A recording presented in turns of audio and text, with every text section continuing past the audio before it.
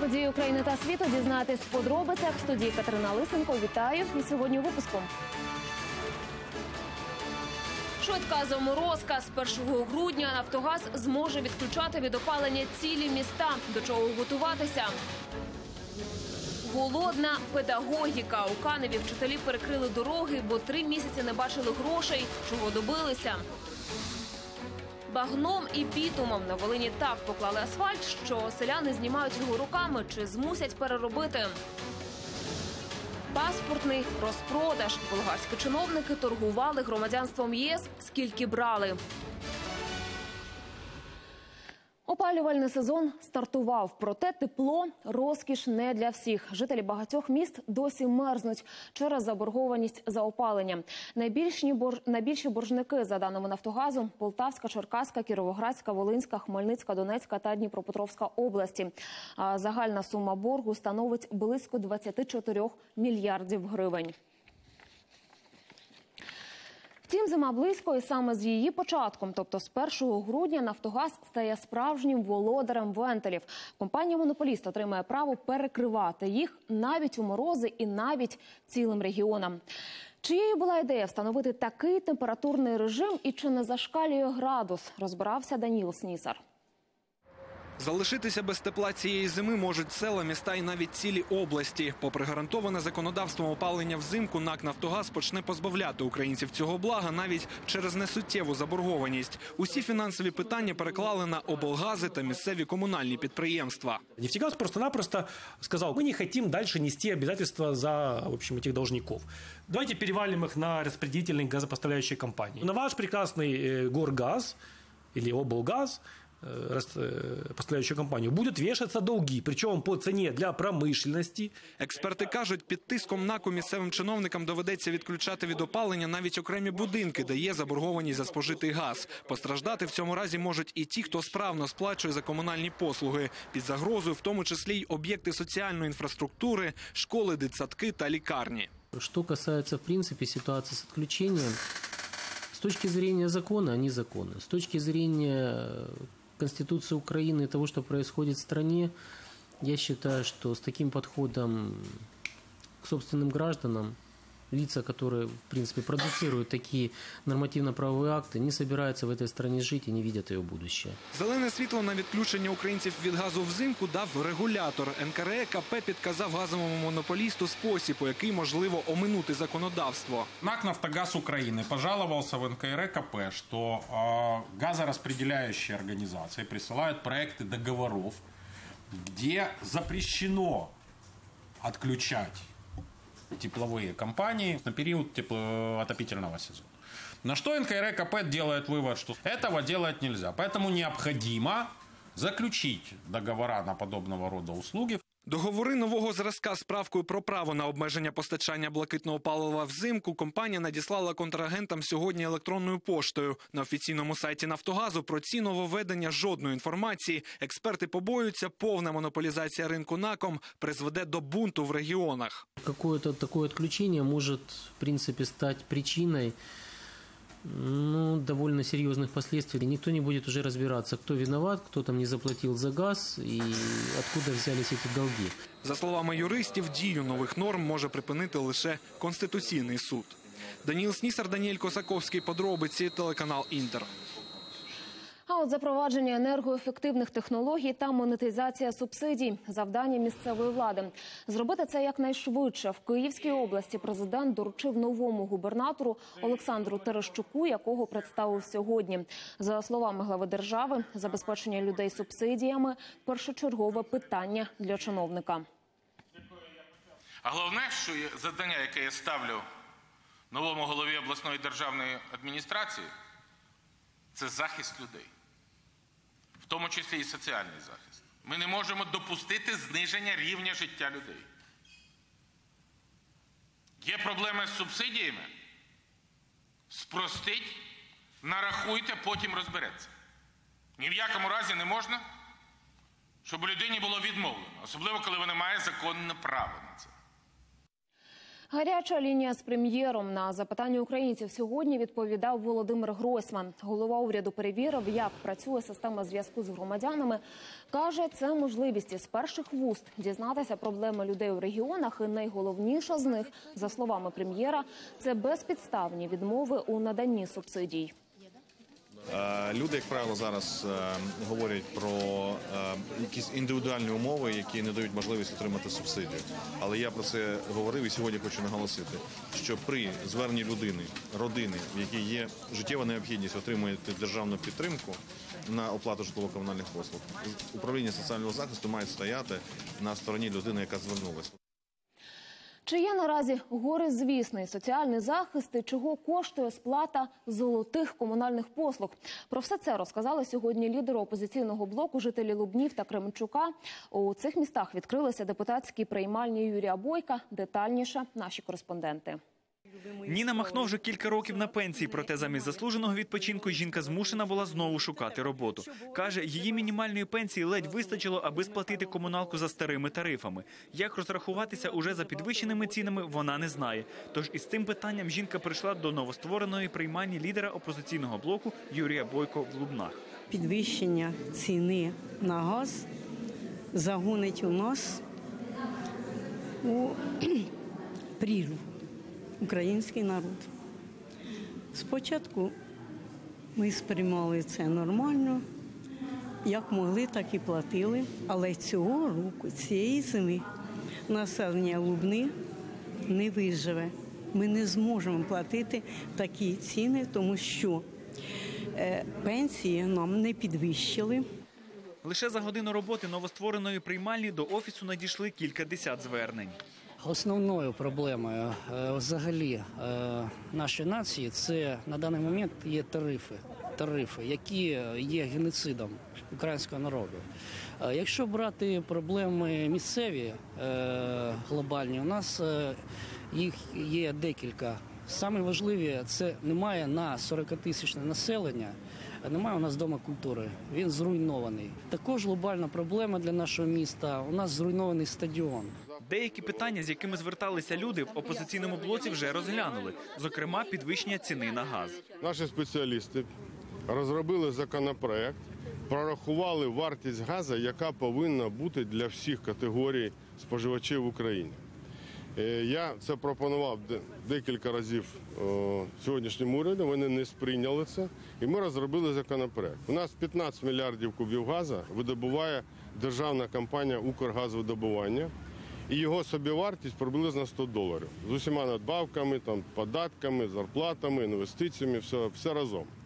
Імпортований газ його також закупають 15 мільярдів, і він коштує приблизно 300 доларів за тисячу кубів.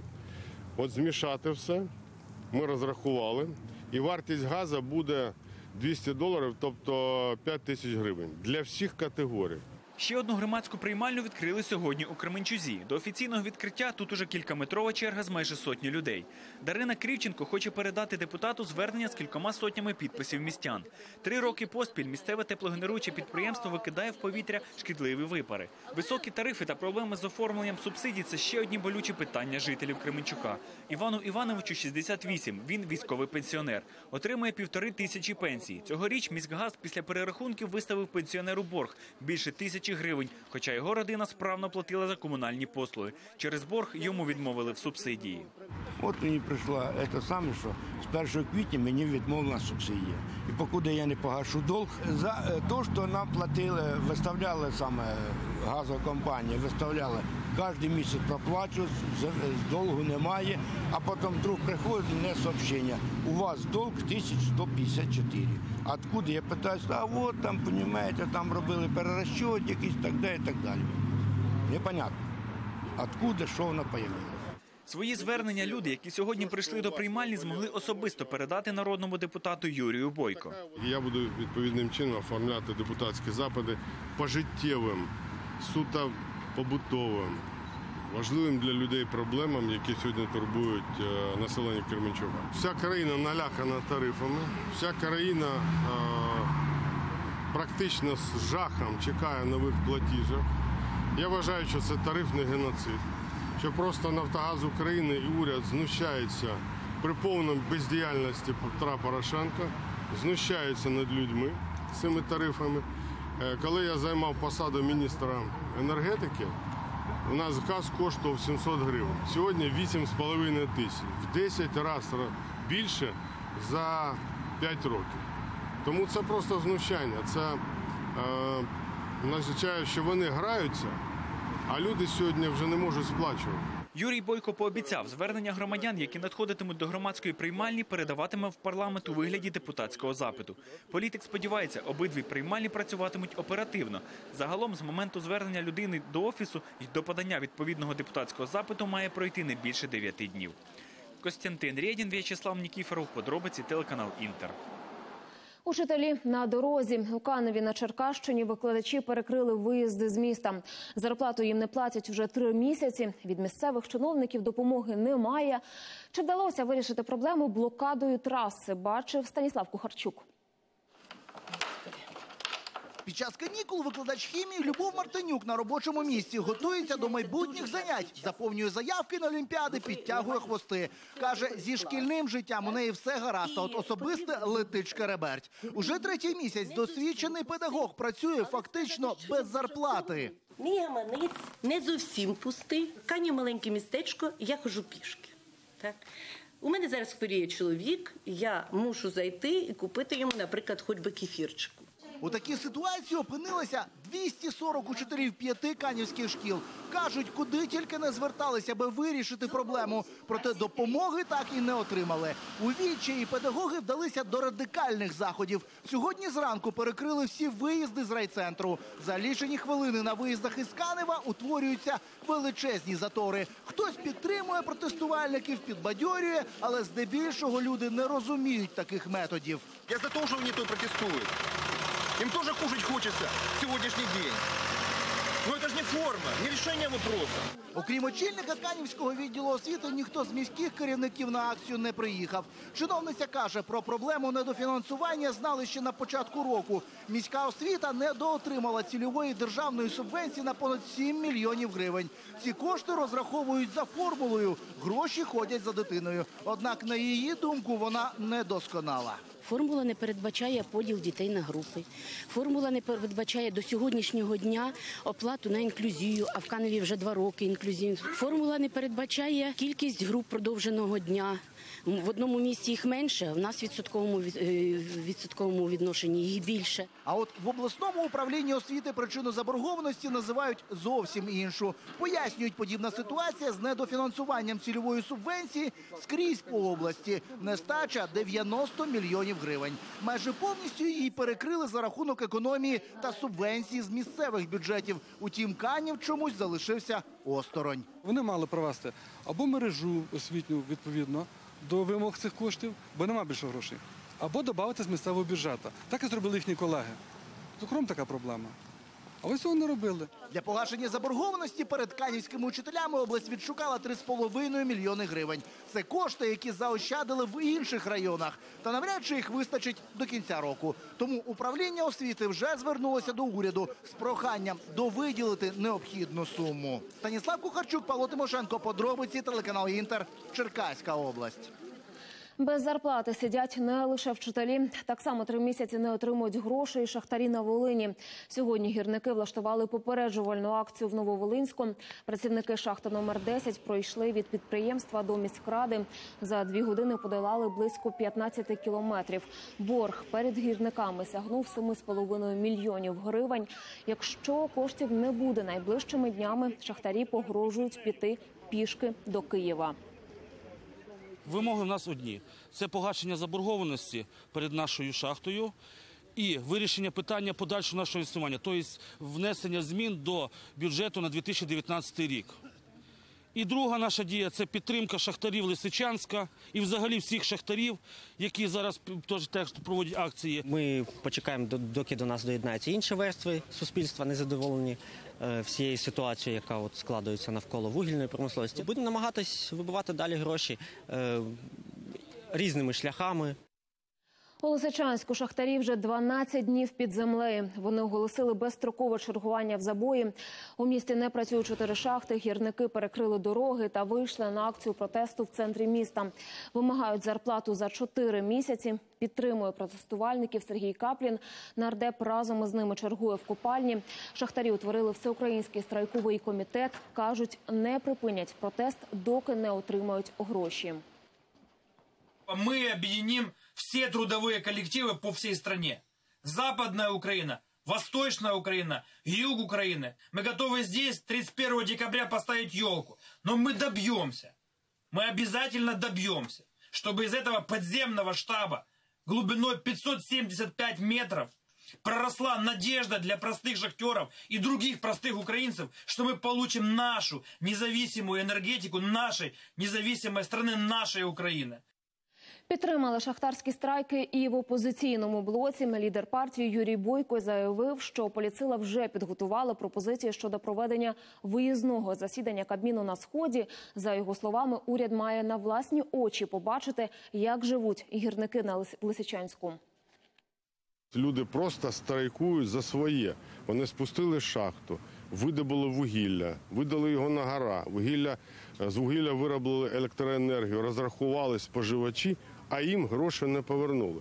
Це повний безлад, і вони готові до масових акцій. Я відверто скажу, що ми будемо їх підтримувати. Ми будемо наполягати, щоб уряд провів позачергове засідання у нас в області. Якщо уряд побачить своїми чинами, що немає енергетики, стоє промисловість, що забрали всі таможні, немає нарахування для того, щоб поповнювати місцеві бюджети. Треба щось з цим робити. Двоє українських військових поранені сьогодні на Донбасі. Бойовики відкривали вогонь дев'ять разів, чотири з них із забороненої зброї. Наші армійці були змушені стріляти у відповідь. Уже другий тиждень залишається напруженою ситуація під Авдіївкою. На позиціях там побував Геннадій Вівденко.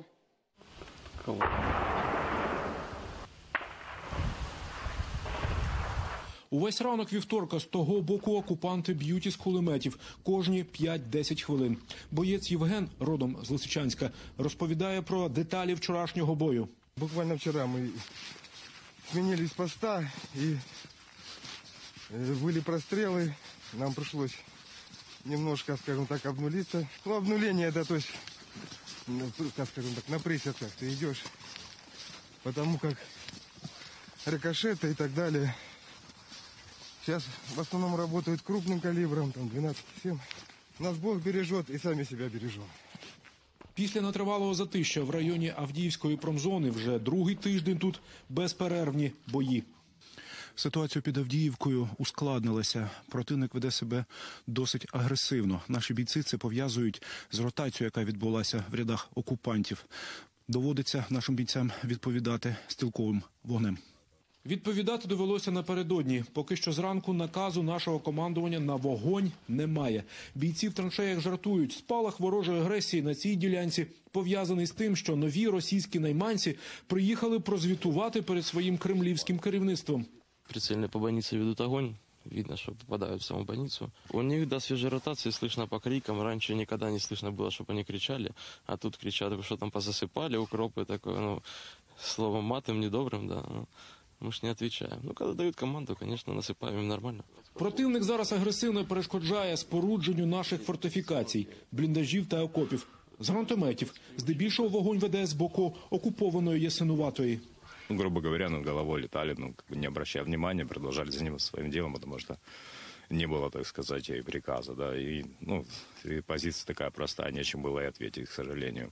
То есть, ну, прикрывали нас по бокам, а мы занимались своим делом. По три там выстрела одиночными, чтобы пред- предотвратить, как бы, подкрадывание, ну, Після ранкового чергування на передовій у районі Ясинуватської авторозв'язки харків'яни Олег та Дмитро вирушають укріплювати наш бліндаж. Російські окупанти посилюють обстріли з гранатометів. Геннадій Вівденко, Андрій Костюк, Руслан Рев'юк. Подробиці телеканал Інтер із Донецької області. Повернути переселенцям соціальний захист і право голосу. Такі вимоги висунули на форумі, присвяченому проблемам цих людей. Серед запрошених представники сотень громадських організацій, правозахисники і нардепи. В опоблоці, зокрема, впевнені, що парламент має ухвалити низку соціально важливих законів. Начиная от их права голоса, и к ним применили дискриминационную норму, лишив их сегодня права голосовать на местных выборах, заканчивая постоянными издевательствами с отбором пенсии, э, с сложнейшей процедурой прохождения контрольно-пропускных пунктов. Депутаты внутри парламента будут формировать коалицию за переселенцев, за тех людей, которых сегодня нужно защитить от войны, и тех, кого мы можем сегодня защитить и принять эти решения, и тем самым двигаться с двух сторон. Врегулювати ситуацію на сході України допоможе воєнний кабінет. Про це сьогодні заявила Юлія Тимошенко. Нардеп стверджує, кабінет мають очолити вихідці з Донбасу.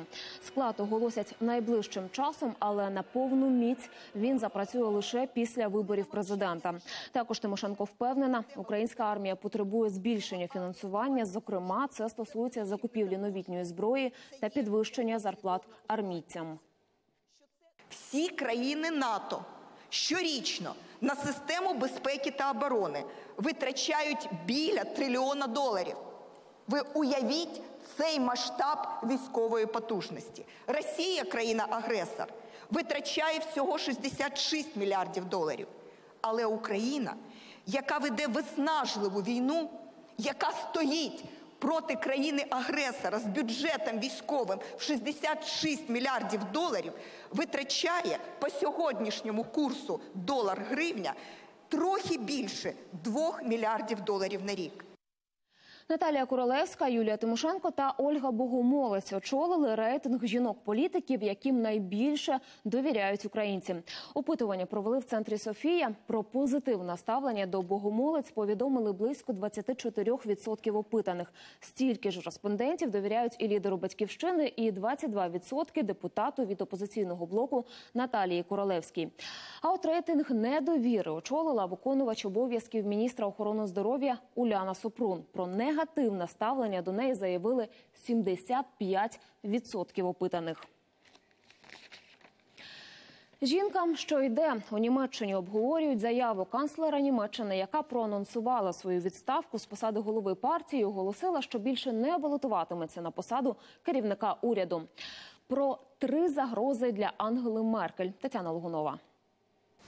В офісі канцлера все без змін. Ангела Меркель за давно затвердженим розкладом приймає прем'єра Ефіопії. У владних кабінетах роблять вигляд все нормально. Втім, у кулуарах тільки розмов про рішення канцлера поетапно піти з великої політики.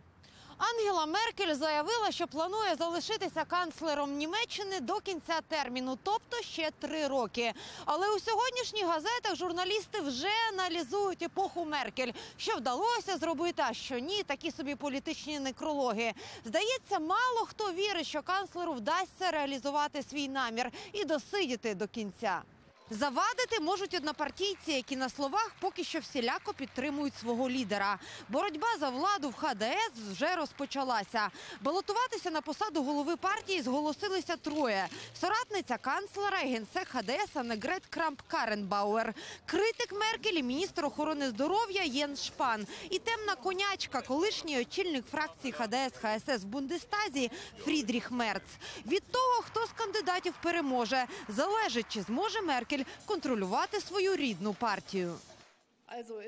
Так, дійсно, я чула, що пані Крамп Карен Бауер і пан Шпан висунули свої кандидатури на посаду голови ХДС. Я скажу так: я ніяк не впливатиму на дискусію з приводу можливого спадкоємця. Це новий цікавий етап для партії, повний нових можливостей. Підкласти свиню можуть і соціал-демократи, які взагалі не бажали входити до великої коаліції. Вийти з уряду все голосніше закликають представники молодіжного крила партії. Вони вже теж хочуть поставити питання про переобрання свого лідера. Розмови про те, наскільки легітимне партійне керівництво закінчиться тільки тоді, коли воно отримає підтвердження цієї легітимності. Це питання стоїть посеред кімнати як великий слон. І точно не буде сидіти, склавши руки, опозиція, яка вимагає відставки Меркель з посади канцлера. Козирна карта тут у правих популістів – міграційна політика, через яку Ангела Меркель і почала втрачати свою популярність. Тетяна Логунович, Слав Фролов, подробиці німецьке бюро телеканалу «Інтер». Моторошне зізнання у Німеччині. Колишній медбрат на суді визнав, що вбив більше ста пацієнтів. Нільс Хьогель вводив хворим смертельні дози ліків, а потім намагався їх реанімувати. Таким чином хотів привернути до себе увагу колег і отримати визнання. Процес, що сьогодні розпочався для Хьогеля, вже третій. Раніше його визнали винним у вбивстві шістьох людей і засудили до довічного ув'язнення.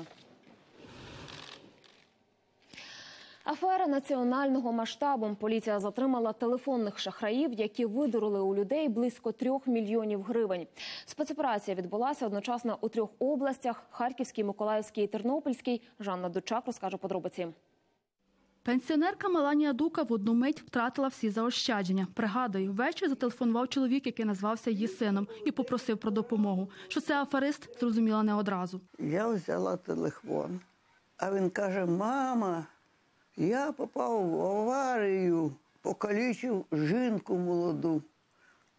І вона лежить в лікарні, і за неї просять гроші. Які маєш дай. У заначці жінка мала 10 тисяч гривень. Усі віддала, начебто поліцейському. Він каже: я не маю говорити, прийде людина, то ти дай. Бо та жінка просить за те, що я її покалічив. Ну і я стала йому давати ті гроші. І віддала, які всі мала. Пенсію якраз отримала, все. Окрім жительки Тернополя Меланії Дуки, жертвами телефонних шахраїв стали ще майже 30 людей з різних регіонів. Злочинці телефонували з тюрми на окупованій території Луганської області. представлялися працівниками поліції та пояснювали е, потерпілим, що їхні родичі потрапили в е, дорожню транспортну пригоду або вчинили інші кримінальні правопорушення, і за вирішення питання про непритягнення їх до кримінальної відповідальності вони пропонували свої послуги за грошову нагороду, е, якби відкупитися від кримінальної відповідальності. Шахраї працювали зі спільниками, які власне приходили до жертв за викупом. Отримавши гроші, собі залишали 30%. Решту перераховували на зону. Мені дзвонив і говорил, назначав місце зустрічі, де він мені передавав денежні средства, а я в последующем э, через термінал поповняла номера карт. Відбулася спецоперація по затриманню фігурантів вказаної злочинної групи. Обрано запобіжні заходи фігурантам у вигляді тримання під вартою з альтернативою внесення застави в розмірі 500 тисяч гривень кожному. На сьогодні задокументовано 23 злочини, хоча правоохоронці не виключають, їх могло бути й більше. У людей аферисти видурили майже 3 мільйони гривень. Найбільше в мешканці Чернівців. Відразу 600 тисяч. Жанна Тучак, Зіновій Автонас, Подробиці, телеканал Інтер, Тернопільська область. Селяни проти дорожників на Волині люди обурилися ремонтом траси, на який чекали десятки років. Асфальт шляховики кладуть просто в калюжі. Місцеві без зусиль здирають його руками та змушують дорожників переробляти. Усі подробиці в нашому матеріалі. Ото європейська технологія по асфальту. Зараз я руками подійму, то все асфальт. Воно все, все ворочиться, все в болоті. Це центральна дорога у селі Поромів. Її ще ніколи не лагодили. Через вибоїни неможливо було їздити, тож громада вирішила власним коштом відремонтувати шлях. Коли техніка стала до роботи, селяни вжахнулися. Диви, ото, ото, ото там так смоли налили багато, бачите? О, о то в болоті, бачиш, то в болоті. О, бач, болото вилидає. Новенький шар асфальту люди знімають руками. Це тому кажуть, що шляховики клали його в калюжі та багнюку. Це він так гарно буде зараз лягати просто в баюру. Файненько, то чітко. О, бачите, о, блок, о, о. Люди впевнені, дорогу ремонтують неякісно, економлять на матеріалах. Шар асфальту надто тонкий, а технології його укладання не дотримуються. По проекту має бути 4 сантиметри е, щебінки. 5 сантиметрів щебенки, От, 4 і пол- пролита бітумом, бітумом, пролита. А тоді вже асфальт. Ремонт селяни зупинили. Оглянути якість полотна викликали чиновників з технагляду. Ті кажуть, підрядник мав би попередити про початок робіт, та цього не зробив. Тож проводитимуть експертизу. Коли лабораторія буде вирізати, е, то тоді буде видно, чи воно клалося на грязне, чи не на грязне. Коли є старий асфальт і на ньому є є пилюка, грязюка і кладете новий, там лишається ця прослойка. Сцеплення нового зі старим не буде. Дорогу у Поромові ремонтує тернопільська фірма. З нею сільрада уклала договір. Загальна вартість робіт понад мільйон триста тисяч гривень. І це за пів кілометра шляху. калюжі е, ми його не клали. Було е, багато бітуму, і виходить так, що попадав бітум в ямки, і виходило, що так як калюжа. Ми дали саму нижчу ціну. Кошторис складений по цінах 17-го року. Жоден підрядник не хотів братися. У селі вже встигли заасфальтувати третину полотна. Дорожникам перерахували 30% від суми, але таку роботу приймати сільрада не буде. У нас в договорі ми чітко все прописали. Якщо нас не влаштовує якість, е, терміни виконання чи будь-що стосується дороги, ми розірвуємо і вони, що би зробили чи не зробили, ми її не приймаємо і вони нам е, е, повертають той навіть наш завдаток. Заасфальтувати увесь шлях планують найближчим часом. Зауваження людей підрядник обіцяє врахувати, а недоліки виправити. Сніжана Сидорук, Микола Василюк, подробиці, телеканал Інтер, Волинська область. Пішов з життя видатний український мультиплікатор, режисер, сценарист Давид Черкаський. Про трагічну новину повідомив на своїй сторінці у Фейсбуці його близький друг Олександр Маламут. За його словами, Черкаський помер у лікарні через два місяці після інсульту. У серпні режисеру виповнилось 86 років. За свою кар'єру Черкаський зняв 14 анімаційних стрічок. Найвідомішими стали його мультфільми Пригоди капітана Врунгеля, Доктор Айболиць і Остров скарбів. Режисер також постійно брав участь у гумористичній передачі «Гол- Золотий гусак.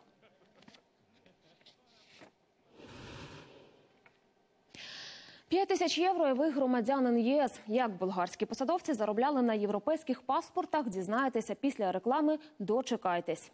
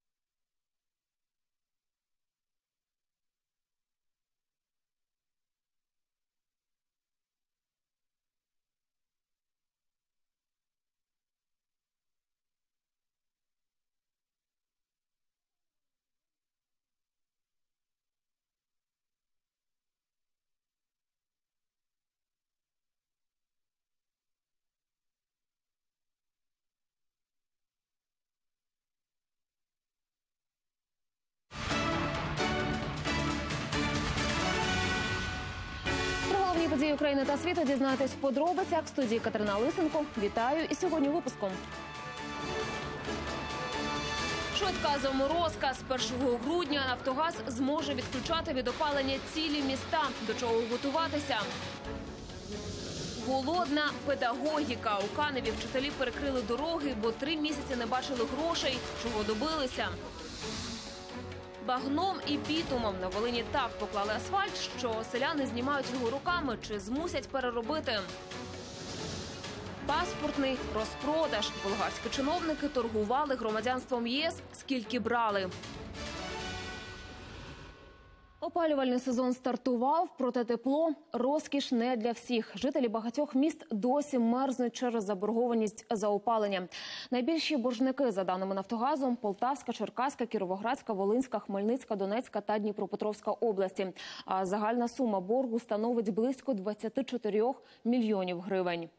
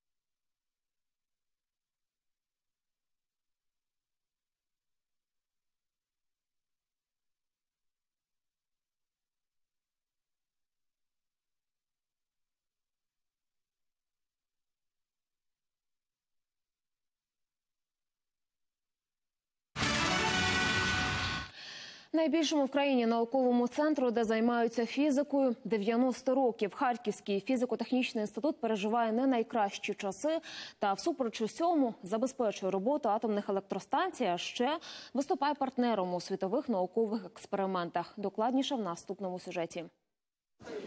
Зал, де відбувається ювілейне засідання наукової ради Харківського фізико-технічного інституту, заповнений вщерть. У переважно немолодих людей горять очі. Вони згадують 90 років роботи інституту. У 32-му розщепили ядро літію. Відтоді розпочалася ера розвитку ядерної фізики.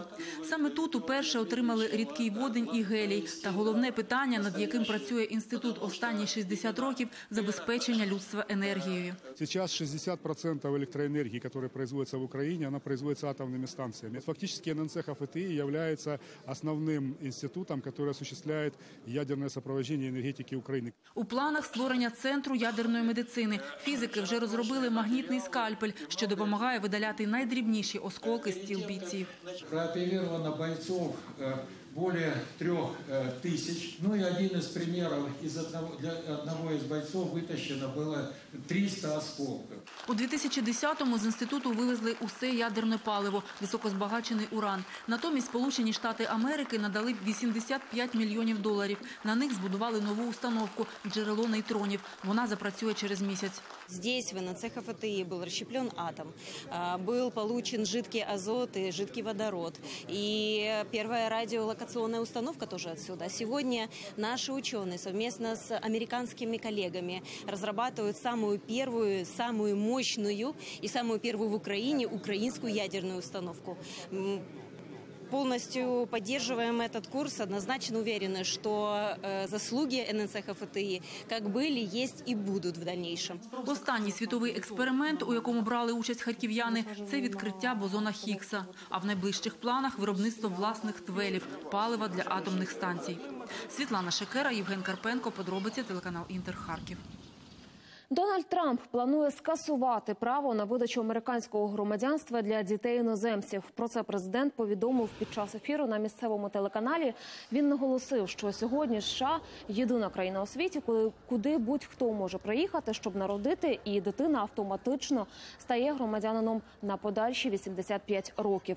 Такі переваги офіційно закріплені 14-ю поправкою до конституції. І наразі Трамп уже обговорює питання зі своїми радниками щодо внесення певних змін до законопроекту, який затвердили ще 1868 року. Європейське громадянство за 5 тисяч євро. Таку схему махінації з документами розкрили правоохоронці в Болгарії.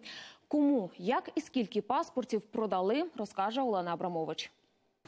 30-40 фальшивих сертифікатів про болгарське походження за тиждень. Приблизно з такою інтенсивністю працювала схема, яку налагодили в болгарській міграційній службі. Довідка про те, що хоча б один з його предків був болгарином, дає право іноземцю отримати болгарське громадянство. А відповідно і громадянство і право на роботу та життя у будь-якій країні ЄС. Тим, у кого немає родичів, фальшиві довідки продавали приблизно за 5 тисяч євро. І найактивнішими покупцями були, як свідчить слідство, українці, молдовани і румуни. Болгарська прокуратура затримала 20 осіб, задіяних у схему. Йдеться про організовану злочинну групу, яка за хабарі здійснювала посадові злочини і махінації з документами. Я можу підтвердити, що затримано керівництво державного агентства для болгар за кордоном разом із головою, його заступником і секретарем. Запит на болгарське громадянство збільшився після приєднання Болгарії до ЄС у 2007 році. За останні 10 років правом натуралізації скористалися 115 тисяч осіб. Який відсоток з них пішов нечесним шляхом, зараз обчислити важко. Отримавши паспорт, іноземці рідко оселялися в Болгарії. Частіше шукали роботу у багатших країнах ЄС. Доказом доказом цьому є також свідчення перекладачів болгарської у Франції та Бельгії, які співпрацюють з поліцією. За їхніми словами, часто виявлялося, що підозрювані з болгарськими документами не володіли болгарською. Про те, що схемою користуються злочинці, говорили й раніше. Екс-глава болгарського міністерства юстиції у березні повідомляла, що відхилила близько 60 заяв на натуралізацію, бо апліканти були у міжнародній базі розшуку Інтерполу. Олена Абрамович, Євген Камінський. Подробиці. Європейське бюро телеканалу Інтер. Вилами по воді писаний. У Британії презентували бюджет країни на наступний рік. Чому цей головний кошторис може взагалі не знадобитися і що заважає Британії до шляху до процвітання, розкаже Світлана Чернецька з Лондона. Яскраве майбутнє і кінець економії. Британський бюджет на 2019 рік найоптимістичніший за останнє десятиліття. Але є одне але цей кошторис актуальний лише у випадку, якщо Лондон домовиться з Брюсселем про прийнятні умови розлучення. Всі плани міністра фінансів зберігаються ось у цьому червоному портфелі. Традиційно його презентація відбулася на ганку Даунін-стріт 11 по сусідству з офісом прем'єр-міністра. А далі повідомлення деталей в парламенті. Ось де й стало відомо, що міністерству довелося готувати і план Б, адже невідомо чим закінчаться перемовини по Брекзиту. Ставки зараз високі, як ніколи. Якщо нам вдасться домовитися, то ми не лише зможемо захистити британські робочі місця і добробут, але й отримуємо подвійні дивіденди. Ми впевнені, що матимемо добру угоду з ЄС, але не зазнаємося, а будемо готові до будь-яких можливих сценаріїв. Міністерство вже відклало на чорний день 4,5 мільярди фунтів. Це якщо Брекзит піде геть погано. І тоді, звісно, цей бюджет можна одразу викинути на смітник, бо вихід з Євросоюзу без домовленостей однозначно нічого доброго не віщує. Тоді головний кошторис треба буде терміново переписувати, залежно від того, наскільки погано розійдуться з Брюсселем. Водночас цей бюджет додатковий стимул досягти угоди з ЄС, адже в цьому випадку з'являться додаткові гроші, які можна буде перенаправити на галузі, які найбільше потребують допомоги медицину та освіту. Світлана Чернецька, Сергій Дубінін. Подробиці британське бюро телеканалу Інтер. Скільки за два дні втратила найбагатша людина світу і в чому Адель перевершила Гаррі Поттера? Про це та інше в нашому огляді. 19 мільярдів доларів за два дні втратив засновник компанії Amazon Джеф Безос. Причина падіння акцій компанії. Вони здешевіли після оприлюднення звіту про доходи інтернет-гіганта. Компанія заробила менше ніж прогнозували. Утім, Джеф Безос і надалі залишається найбагатшою людиною світу. Його статки складають понад 128 мільярдів доларів. Співачка Адель втретє очолила рейтинг багатіїв британського шоу-бізнесу у віці до 30 років. Її статки оцінюють у 188 мільйонів доларів. На другому місці актор і музикант Ед Ширан, на третьому кіноактор Деніел Редкліф, зірка фільмів про Гаррі Поттера. До списку також потрапила виконавиця ролі Герміони Ема Вотсон, учасники гурту One Direction і співак Сем Сміт. Прибирати за котом і платити за інтернет, наказав еквадорський суд Джуліану Асанжу. Засновник Вікілікс уже шість років живе в посольстві цієї країни в Британії, і на його утримання було витрачено 6 мільйонів доларів. Тож Асанжу надали список побутових правил. Зокрема, він має сам оплачувати рахунки і підтримувати порядок. Адвокати Асанжа такі правила назвали тюремними, адже в разі їх недотримання Еквадор погрожує йому відмовою у наданні політичного притулку. Рідкісного восьминога вдалося зняти на відео американським вченим. Підводна камера натрапила на чудернацьку тварину біля узбережжя Каліфорнії на глибині більше трьох кілометрів. За великі плавники, які схожі на вуха, цей вид восьминогів називають дамбо, прізвиськом слоненяти з діснеївських мультфільмів. Живуть вони глибоко, тому вченим про цих тварин відомо небагато. Космічний Геловін – найжахливіше свято року. Інженери НАСА відзначили конкурсом на найоригінальніший гарбуз. Учасники майстрували з овочів космічні кораблі, роботи і світильники. Головна умова – займатися творчістю у вільний від роботи час. Таке неофіційне змагання в НАСА проводять уже сьомий рік поспіль. Остання трапеза у Японії відкрили ресторан, де подають страви, що їх замовляли собі злочинці, засуджені до смертної кари. У меню зобразили смертників та їх останній обід. Власники закладу кажуть, особливим попитом користується гамбургер з картоплею Геррі Гілмора, першого засудженого до смертного вироку у США після зняття мораторію, і трапеза серійної вбивці на прізвисько Чорна вдова, спаржа, броколі, помідори і полуниця. Судно з гарбуза змайстрував англієць із міста Йорк. Чоловік на ім'я Том Пірсі виростив гігантський плід спеціально до Геловіна і вирізав із нього човен. Проплисти йому вдалося пів кілометра під наглядом рятувальників. Тепер англійський дивак претендує на місце в книзі рекордів Гіннеса. Каже, його гарбуз найбільший з тих, які коли-небудь спускали на воду. Дослідницька платформа Пінчук Арт-центр представила виставку українських митців Свій простір. 22 учасники проекту намагалися визначити місце жінки-художниці в чоловічому світі і в сучасному українському суспільстві. Інсталяції сучасних художниць представлені поряд з полотнами Катерини Білокур та Марії Примаченко. Експозиція складається з трьох розділів. Но мы для себя выбрали такие три линии вот такого какого-то скрытого пространства, как удел, да, такой женщины, и э, политического. Если говорить о жанрах, то здесь очень многое представлено. Это и кино, это репродукции плакатов, фотокопії плакатів. Чому я думаю, я включена в цю виставку? Це тому, що просто т- т- для мене характерні робота з важкими матеріалами. Це е, в певній мірі порушує стереотипи про жінку. З Самого ранку до Голосіївської пустині у Києві прибули тисячі вірян. У Свято-Успенському монастирі відзначили День пам'яті святої Аліпії. Детальніше розкаже Юлія Жешко.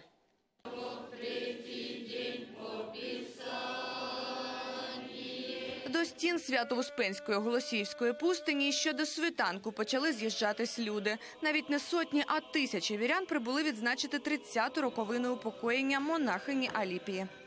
Праздник Матушки Алипии, День памяти, трин- э, 30 октября. Все просьбы выполняет, и надо обязательно благодарить. Очень приятно, что служба сегодня такая большая, величная. Це місце ніколи не буває безлюдним. Сюди їдуть люди, котрим потрібна допомога. А більшість кажуть, що її вже отримали. Тому кожного року, навіть у розпал робочого тижня, як сьогодні, на території монастиря не проштовхнутись. Действительно, здесь благодатное место. Она сумела вымолить своими молитвами. Так как хорошие сотрудники у меня, отпросилась именно сегодня на целый день. Вчера ночью приехали он с друзьями, с тетей. А в Українській православній церкві очікують рішення про канонізацію Аліпії. У своєму останньому зверненні монахиня сказала: звертайтесь до мене як до живої, і я вам допоможу. Святой человек – это человек, который, падая, встает, согрешая, кается, э, молится Богу, чтобы Господь э, своей всесильной помощью врачевал все человеческие немощи. И если это достигается, то человек э, м, обитает э, в Царстве Божьем и уже оттуда имеет силу умолять Бога, помогать нам, здесь живущим сейчас на земле и таким же борющимся со своими страстными пороками и грехами. Про допомогу святої розповідають і відомі особистості. В народе называют матушка Алипия. То есть, ну, не буду пересказывать все, но скажу точно, что э, в моей семье, с моими родителями, этот человек, матушка Алипия, занял огромное место. Это та помощь, которая, о которой нам столько говорят, что ее возможно получить от небес. И я свидетельствую это, эту помощь мы получили. И получаем, я уверен. Голосівська пустинь місце, де можна попросити про потаємне та особисте. Тому сюди з'їжджаються люди з добрими намірами. У цьому впевнені й українські політики. Очень важно, чтобы на таких праздниках молились все за мир, за любовь, объединялись. И как раз вот мы видим сегодня тысячи людей. Обычно сюда больше ста тысяч людей приезжает на этот праздник. Голосеевская пустынь – это прекрасное место для того, чтобы люди нашли возможность и помолиться, и прийти к Богу, и подумать о чем-то своем сокровенном. Сьогодні ж люди моляться за мир і в Україні, і у власних душах. По просьбе людей, которые искренне молятся матушке, я думаю, что она нас услышит и попросит Бога, чтобы у нас наконец-то настал мир и благополучие. Прочани вірять, що у цей день молитва має особливу силу. Юлія Жешко, Василь Міновщиков, подробиці, телеканал Інтер. Більше новин, як завжди, на нашому сайті. Подробності є. А в прямому ефірі побачимося вже завтра. Я бажаю вам гарного вечора і до зустрічі.